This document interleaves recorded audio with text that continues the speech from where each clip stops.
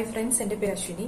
ഈ കഴിഞ്ഞ S S C C G L two thousand twenty വണ്ണിൽ ജി എസ് ടി ഇൻസ്പെക്ടർ എന്ന പോസ്റ്റിലേക്ക് ഞാൻ സെലക്ടഡ് ആണ്. എയ്റ്റ് ഹൺഡ്രഡ് ആൻഡ് ടെൻ ആയിരുന്നു എന്റെ റാങ്ക് എന്റെ ഒരു പ്രിപ്പറേഷൻ സ്ട്രാറ്റജി ഷെയർ ചെയ്യാൻ വേണ്ടിയാണ് ഈ വീഡിയോ ചെയ്യുന്നത്. എന്റെ ഒരു ബാക്ക്ഗ്രൗണ്ട് വെച്ച് സ്റ്റാർട്ട് ചെയ്യാം. ഞാൻ ടു തൗസൻഡ് സെവന്റീനിൽ തൃശൂർ ഗവൺമെന്റ് എഞ്ചിനീയറിംഗ് കോളേജിൽ നിന്ന് ബി ടെക് പാസ് ഔട്ട് ആയതാണ്. പിന്നീട് ടു തൗസൻഡ് സെവന്റീനിലെ സി ജി എല്ലിൽ തന്നെ ഞാൻ ട്രൈ ചെയ്തു. പക്ഷേ ടയർ ത്രീ കഴിഞ്ഞ് ഞാൻ ക്വാളിഫൈ ആയില്ല. പിന്നെ ഞാൻ ജോബിന് ജോയിൻ ചെയ്തു ടി സി എസിൽ വർക്ക് ചെയ്തു. അതിന്റെ കൂടെയാണ് ഞാൻ two thousand നയന്റീനും two thousand twenty one C ജിയിലും prepare ചെയ്യുന്നത്. അപ്പോൾ ടൂ തൗസൻഡ് നയന്റീനിൽ ഞാൻ ടാക്സ് അസിസ്റ്റന്റ് ആയിട്ട് സെലക്ടഡ് ആണ്. C B D T tax assistant ആണ്. അത് കഴിഞ്ഞ് ടൂ തൗസൻഡ് ട്വന്റി വണ്ണിൽ ഇപ്പോൾ ജി എസ് ടി ഇൻസ്പെക്ടർ പോസ്റ്റിലേക്ക് സെലക്ടഡ് ആയിട്ടുണ്ട്. ടൂ തൗസൻഡ് സെവന്റീനിൽ എന്റെ ഒരു ഫെയിലിയറിനെ കുറിച്ച് ഡിസ്കസ് ചെയ്യുകയാണെങ്കിൽ ഞാൻ അന്ന് ഫോളോ ചെയ്തത് ഞാൻ മോക്സ് മാത്രമാണ് മെയിനായിട്ട് ചെയ്തുകൊണ്ടിരുന്നത്. കിട്ടാവുന്ന മോക്സ് എല്ലാം ചെയ്തു. പക്ഷെ ഞാനത് അനാലിസിസും ചെയ്യുമായിരുന്നു അതിലുള്ള സൊല്യൂഷൻസ് തന്നെ നോക്കി ചെയ്യുമായിരുന്നു പക്ഷെ ഓൾറെഡി അറിയാവുന്ന മെത്തേഡ്സ് വെച്ച് മാത്രം പ്രോബ്ലംസ് ഒക്കെ വർക്കൗട്ട് ചെയ്യുന്ന ഒരു ശീലമായിരുന്നു എന്റെത്. അറിയുന്ന മെത്തേഡ്സ് തന്നെ കുറച്ച് സ്പീഡ് കൂടി എന്നല്ലാതെ പുതിയ മെത്തേഡ്സ് പഠിക്കുകയോ ഓരോ ക്വസ്റ്റ്യൻസ് ചെയ്യാനുള്ള ടൈം റെഡ്യൂസ് ചെയ്ത് കൊണ്ടുവരുമോ അങ്ങനെയുള്ള മെത്തേഡൊന്നും ഞാൻ ഫോളോ ചെയ്തിരുന്നില്ല ആ സമയത്ത്. അപ്പൊ ഫൈനലി എത്തിയപ്പോഴത്തേക്കും എന്റെ ടോട്ടൽ മാർക്സ് വളരെ കുറവ് കുറവായിരുന്നു. ടയർ ത്രീ കഴിഞ്ഞ് ഡിസ്ക്വാളിഫൈ ആയി. പിന്നെ ഞാൻ ജോബിന് ജോയിൻ ചെയ്തു. അപ്പം അതിന്റെ കൂടെയാണ് ഞാൻ ടൂ തൗസൻഡ് നയന്റീനും ട്വന്റി വണ്ണും പ്രിപ്പയർ ചെയ്യുന്നത്. എന്റെ ഒരു പ്രിപ്പറേഷൻ ടൈം ടൂ തൗസൻഡ് നയന്റീനിന്റെ സമയത്ത് എന്റെ ഒരു പ്രിപ്പറേഷൻ ടൈം രാത്രി ടെൻ ടു ടു ആയിരുന്നു. ഡെയിലി ആ ഒരു ഫോർ അവേഴ്സ് ഞാൻ പഠിക്കാൻ വേണ്ടി മാറ്റിയൊക്കെ മാക്സിമം ട്രൈ ചെയ്യുമായിരുന്നു. വീക്കെൻഡ്സിൽ കുറച്ചും കൂടെ എക്സ്ട്രാ ടൈം ഇരുന്ന് പഠിക്കും. സബ്ജക്ട് വൈസ് പറയുകയാണെങ്കിൽ മാത്സിന് ഞാൻ യൂട്യൂബ് ചാനൽസ് ആണ് മെയിൻ ആയിട്ട് ഫോളോ ചെയ്തത് കാരണം യൂട്യൂബ് ചാനൽസ് വഴി യൂസ് ചെയ്ത് പഠിക്കുകയാണെങ്കിൽ വീഡിയോസ് നമുക്ക് പ്ലേ ചെയ്ത് അതിന്റെ കൂടെ തന്നെ പഠിച്ചു പോവാം. ബോറടിക്കുക അല്ലെങ്കിൽ ഉറക്കം വരിക ഇതൊക്കെ നമുക്ക് ഒഴിവാക്കാൻ പറ്റിയിരുന്നു എനിക്ക്. അപ്പോൾ ഞാൻ അന്ന് ഫോളോ ചെയ്തിരുന്ന യൂട്യൂബ് ചാനൽസ് റെമോമാക്സ് മാക്സ് അബ്ബാസ് സൈനി ഗഗൻ പ്രതാപ് രാകേഷ് യാദവ്. ഇത്രയും ചാനൽസ് ആയിരുന്നു ഫോളോ ചെയ്തിരുന്നത്. അതിൽ ഗഗൻ പ്രതാപിന്റെ ചാപ്റ്റർ വൈസ് ക്ലാസ്സസ് ഉണ്ടായിരുന്നു യൂട്യൂബിൽ അത് പ്ലേ ചെയ്ത് അതിന്റെ കൂടെ തന്നെ വർക്കൗട്ട് ചെയ്ത് പോവായിരുന്നു. അതിന്റെ കൂടെ ഇവരുടെ യൂട്യൂബ് ചാനൽസിന്റെ കൂടെ തന്നെ ടെലിഗ്രാം ചാനൽസ് ഉണ്ടായിരുന്നു. അതിൽ അപ്ലോഡ് ചെയ്യുന്ന പി ഡി എഫ്സ് അതിൽ previous questions subject topic wise questions എല്ലാം ഉണ്ടാവുമായിരുന്നു. അപ്പൊ അതും വർക്കൗട്ട് ചെയ്ത് നോക്കുമായിരുന്നു. പിന്നെ ഞാൻ അഡ്വാൻസ്ഡ് മാത്സ് രാകേഷ് യാദവിന്റെ അഡ്വാൻസ്ഡ് മാത്സ് എന്ന ടെക്സ്റ്റ് ബുക്കും വായിച്ചിട്ടുണ്ട്. അപ്പൊ അതും പഠിക്കുമായിരുന്നു പിന്നെ അടുത്ത ഇംഗ്ലീഷ് പറയുകയാണെങ്കിൽ ഇംഗ്ലീഷിൽ ഞാൻ എസ് പി ബക്ഷിയുടെ ബുക്ക് ഫോളോ ചെയ്തിട്ടുണ്ട്. വൊക്കാബുലറി ഞാൻ ഭയങ്കര വീക്ക് ആയിരുന്നതുകൊണ്ട് തന്നെ ഡെയിലി കുറച്ച് വേർഡ്സ് പഠിച്ച് അത് എഴുതി വെക്കുമായിരുന്നു അപ്പോൾ എഴുതി വെച്ചത് പിന്നെ പിന്നെയും റിപ്പീറ്റഡ് ആയി റിവൈസ് ചെയ്യുമായിരുന്നു പിന്നെ അതിന്റെ കൂടെ വൊക്കാബുലറിക്ക് വേണ്ടി തന്നെ വേർഡ് പവർ ഈസി എന്ന് പറഞ്ഞ ഒരു ബുക്ക് ഉണ്ടായിരുന്നു. അതും കൂടെ പഠിക്കുമായിരുന്നു അതിൽ റൂട്ട് വേർഡ്സ് വെച്ച് പഠിപ്പിക്കും റൂട്ട് വേർഡ്സ് വെച്ചിട്ടുള്ള ഒരു ബുക്ക് ഇതായിരുന്നു. പിന്നെ ഇംഗ്ലീഷിൽ ഞാൻ മോക്സ് ചെയ്തിട്ടുണ്ട്. മോക്സിൽ ഞാൻ മോക്ക് എടുത്ത് സബ്മിറ്റ് ചെയ്യും. ചെയ്യാതെ സബ്മിറ്റ് ചെയ്യും. എന്നിട്ട് വൺ ബൈ വൺ എടുത്ത് അത് മാർക്ക് ചെയ്ത് നോക്കും. അപ്പം അത് കറക്റ്റ് ആണോ റോങ് ആണോ എന്ന് തന്നെ അറിയാൻ പറ്റും. അപ്പൊ അപ്പൊ തന്നെ പഠിക്കാൻ പറ്റും. അത് കുറച്ചുകൂടെ സ്പീഡായിട്ട് എനിക്ക് തോന്നി. അതുകൊണ്ട് ഞാൻ അങ്ങനെ ചെയ്തിരുന്നു ആദ്യമൊക്കെ. പിന്നീടാണ് ഇംഗ്ലീഷ് കുറച്ചും കൂടെ വായിക്കുമ്പോൾ ബോറടിക്കുന്നതും കോംപ്രിഹെൻഷൻ ഒന്നും കംപ്ലീറ്റ് ചെയ്യാതെ സ്കിപ്പ് കംപ്ലീറ്റ്ലി വായിക്കാതെ ക്വസ്റ്റ്യൻ വായിച്ച് ജസ്റ്റ് സ്കിം ചെയ്ത് വായിച്ച് വിടുന്ന ഒരു ശീലം വന്നു തുടങ്ങിയത്. അപ്പൊ അത് കൊണ്ട് അത് ഒഴിവാക്കാൻ വേണ്ടി ഞാൻ മോക്ക് എഴുതി തുടങ്ങി. ആ ടു അവേഴ്സ് ഇരുന്ന് ടയർ ടുവിനൊക്കെ ടു അവേഴ്സ് ഇരുന്ന് ആ മോക്ക് ഫുള്ള് ചെയ്തു തുടങ്ങി. പിന്നെ റീസണിങ്ങിന് ഞാനൊരു സെപ്പറേറ്റ് മെത്തേഡ് ഒന്നും ഫോളോ ചെയ്തിട്ടില്ല. ഒരു ബുക്സ് ഒന്നും റെഫർ ചെയ്തിട്ടൊന്നും പഠിച്ചിട്ടില്ല. ഇതുപോലെ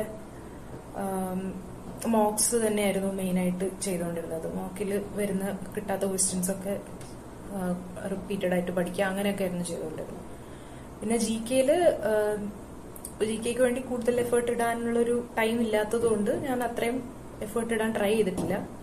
കറണ്ട് അഫയേഴ്സ് ഒന്നും ഒന്നും പഠിച്ചിട്ടില്ല. പക്ഷെ എന്നാലും ഞാൻ ചെയ്തത് കുറച്ച് പി എസ് സിയുടെ ക്ലാസ്സസ് ഓൺലൈനിൽ കണ്ട്. അതിൽ ഈ കോഡ്സ് വെച്ച് പഠിപ്പിക്കുന്ന ഒരു സിസ്റ്റം മെത്തേഡ് ഉണ്ടായിരുന്നു. അപ്പം അതിൽ നമുക്ക് എസ് എസ് സിയുടെ സിലബസിൽ വരുന്ന കുറച്ച് ടോപ്പിക്സ് എടുത്തിട്ട് അത് മാത്രം കോഡ്സ് എഴുതി വെച്ച് അത് പഠിക്കുമായിരുന്നു അപ്പം അത് നമുക്ക് ഈ ഡാൻസ് ഫോംസ് ഒക്കെ ചോദിക്കുമായിരുന്നു ആ സമയത്ത്. ഡാൻസ് ഫോംസിന്റെ ഒക്കെ കോഡ് ആ സമയത്ത് ഞാൻ എഴുതി വെച്ച് പഠിച്ചിട്ടുണ്ട്. അത് ഓർമ്മയുണ്ട്. പിന്നെ അങ്ങനെ ഓർമ്മയിൽ നിൽക്കുമായിരുന്നുള്ളൂ അല്ലാതെ ജി കെ പഠിച്ച് ഓർമ്മയിൽ വെക്കാനുള്ള ഒരു ഇത് സ്കിൽ എനിക്ക് ഇല്ല കുറവായിരുന്നു വളരെ കുറവായിരുന്നു. അതുകൊണ്ട് ജി കെ അത്രേ ചെയ്തോളൂ പിന്നെ ഞാൻ യൂട്യൂബിൽ ഫ്രീ ആയിട്ടിരിക്കുന്ന സമയത്ത് ചിലപ്പം ക്ലാസ്സസ് കേട്ടോണ്ടിരിക്കുമായിരുന്നു പക്ഷെ അത് എത്ര എഫക്റ്റീവായി എന്നറിയില്ല. ജി കെയിൽ എനിക്ക് മാർക്സും വളരെ കുറവായിരുന്നു. പിന്നെ കുറച്ച് ഫ്രണ്ട്സ് എനിക്ക് ഇൻസ്റ്റിറ്റ്യൂട്ട്സിലെ കുറച്ച് മെറ്റീരിയൽസ് ഒക്കെ ഷെയർ ചെയ്യുമായിരുന്നു. അപ്പോൾ അതും ഞാൻ റെഫർ ചെയ്ത് പഠിച്ചിട്ടുണ്ട്.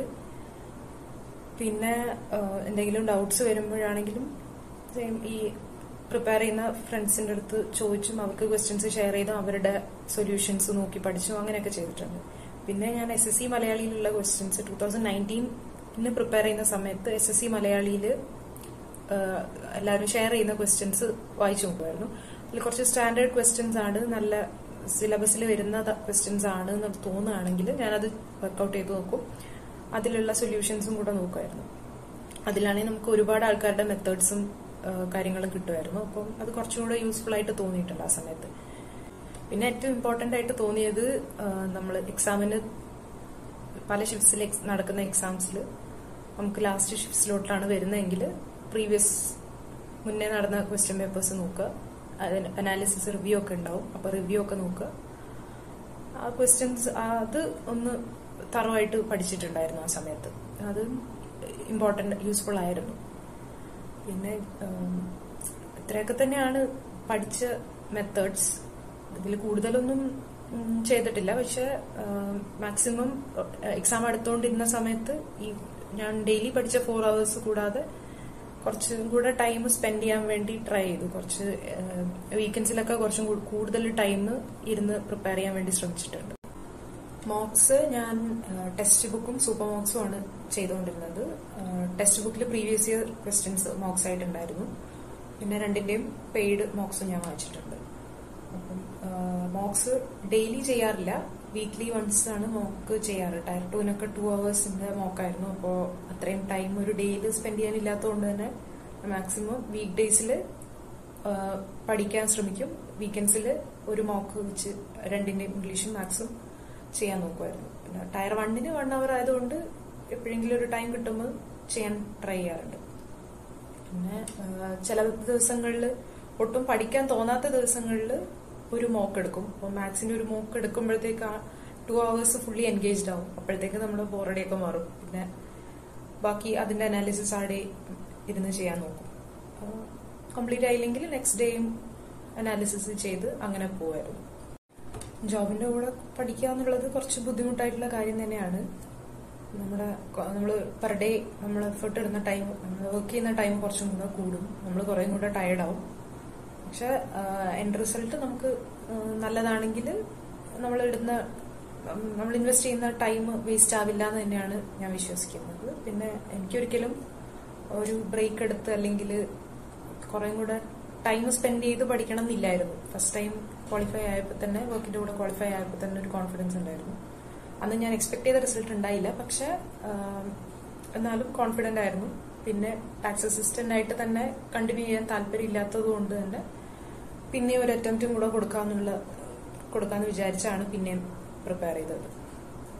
ജോബിന്റെ കൂടെ ആണെങ്കിലും പോസിബിൾ ആണ്.